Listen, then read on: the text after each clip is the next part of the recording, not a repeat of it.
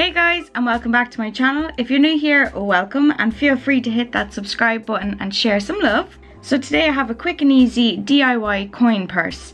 This is actually the perfect DIY to do if you have any old scraps of fabric lying around that you just want to use up. You could even make a few for your friends or your family.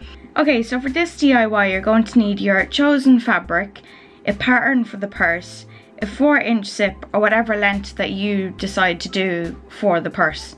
Okay, so for the pattern, simply choose the length and width that you want um, your purse to be. So I chose a 7 centimeter long and 10 centimeter wide. So once you've made your basic shape of the purse, you're going to want to add 1 centimeter seam allowance to the top and the sides. And then the bottom is going to be left on its own because it's going to be on the fold. So taking your chosen fabric, fold it over and then you're going to pin your pattern to the fabric making sure that the bottom of the pattern is at the fold of your fabric. So once you're done go ahead and cut it out.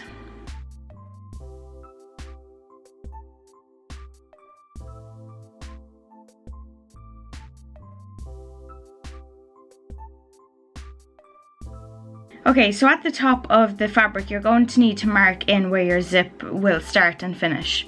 So I measured in by one centimeter on both ends of the fabric.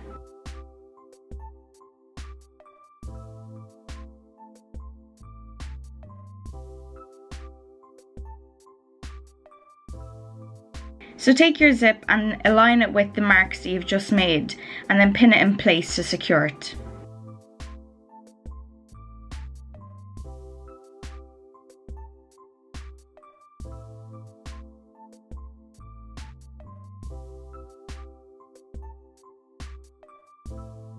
So now using the zipper foot on your machine, sew the zip to the fabric.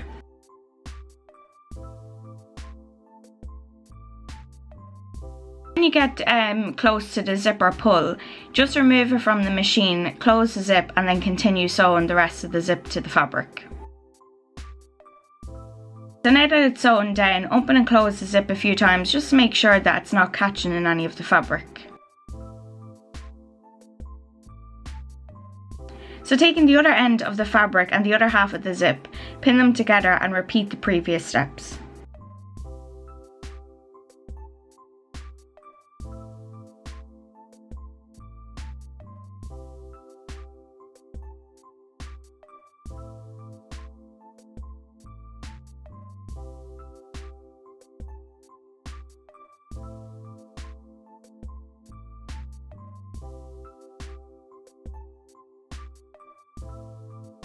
So the next step is to close each side seams. Fold the zip over so it's face to face and then you're going to sew one centimeter the whole way down and then repeat this on the other side.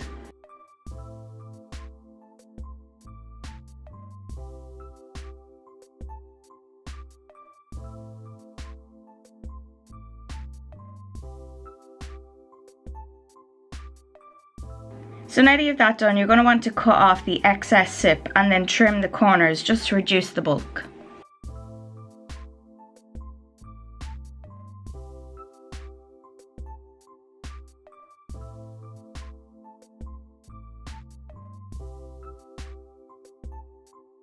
Okay, so this step is optional, but I took my pinking shears and trimmed the side seams just to help reduce any fraying of the fabric.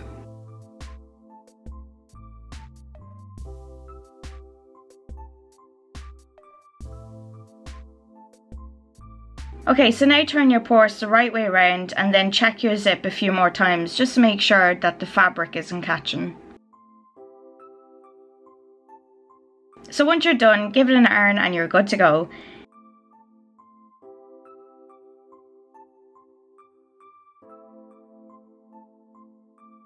The size I chose is perfect fit for my change and for my cards.